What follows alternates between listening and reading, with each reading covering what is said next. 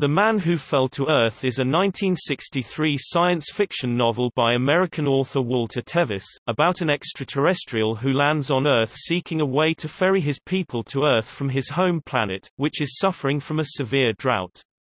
The novel served as the basis for the 1976 film by Nicolas Roeg, The Man Who Fell to Earth, as well as a 1987 television adaptation.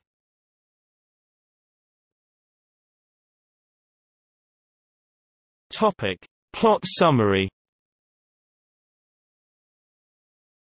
Thomas Jerome Newton is a humanoid alien who comes to Earth seeking to construct a spaceship to ferry others from his home planet, Anthea, to Earth. Anthea is experiencing a terrible drought after many nuclear wars, and the population has dwindled to less than 300. Their own starships are unusable for lack of fuel and 500 years of neglect. The Antheans have no water, an abundance of food that is slowly dwindling, and feeble solar power. Like all Antheans, Newton is super intelligent, but he has been selected for this mission because he has the physical strength necessary to function in Earth's hotter climate and higher gravity. Arriving at Earth in a lifeboat, Newton first lands in the state of Kentucky. He quickly becomes familiar with the environment and forms a plan. Using advanced technology from his home planet, Newton patents many inventions, and amasses incredible wealth as the head of a technology-based conglomerate. He plans to use this wealth to construct space vehicles for the rest of the Anthean population. Along the way he meets Betty Jo, who falls in love with him. He does not return these feelings, but takes her and his curious fuel technician Nathan Bryce as his friends, while he runs his company in the shadows. Betty Jo introduces Newton to many Earth customs, such as church, fashion, and alcohol. However, his appetite for alcohol soon leads to problems, as he begins to experience intense emotions unfamiliar to Antheans. Eventually, Newton's alien nature is discovered by Nathan Bryce, and it comes as a relief to Newton to be able to reveal his secret to someone. He expresses the hope that the Antheans he will ferry to Earth will flourish and use their superior intelligence to help Earth achieve peace, prosperity, and safety. However, the CIA arrests Newton, having followed him since his appearance on Earth and having recorded this private conversation with Bryce. They submit him to rigorous tests and analysis, resulting in conclusive evidence of his alien identity, but decide not to release the results for fear they would simply not be believed, and possibly even embarrass the government. Newton is released, but is immediately arrested by the FBI, which begins its own examinations.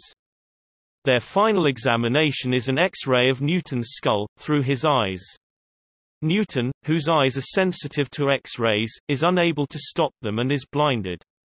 The story of Newton's blinding becomes a scandal which leads to the fall of the government and eventually to catastrophe. Newton, speaking to Bryce for the last time, explains bitterly that he is unable to continue his spaceship project because of his blindness and because of planetary alignments which have changed during his captivity. He records a message which he hopes to broadcast via radio to his home planet.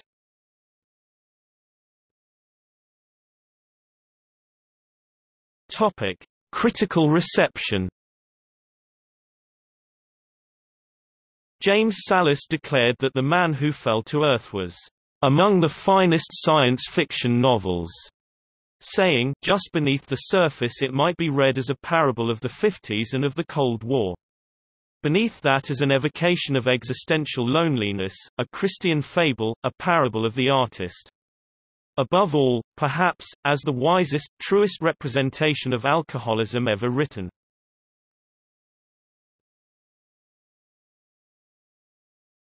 Topic: Adaptations.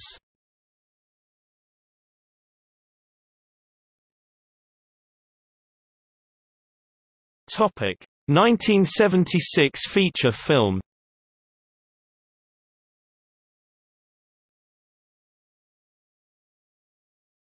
Topic. 1987 television film.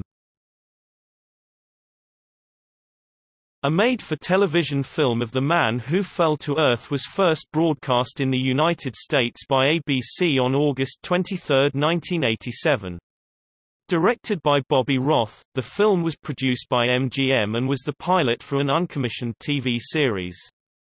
In this version, the alien, played by Lewis Smith, is renamed John Dory and forms a relationship with a woman, Eva Miller, Beverly D'Angelo, and her son, Billy Wil Wheaton, a relationship similar to that of Klaatu, Helen Benson and her son Bobby in the 1951 film The Day the Earth Stood Still. Other cast members include James Laurenson as boonsman Felix Hawthorne, and Robert Picardo as government agent Richard Morse.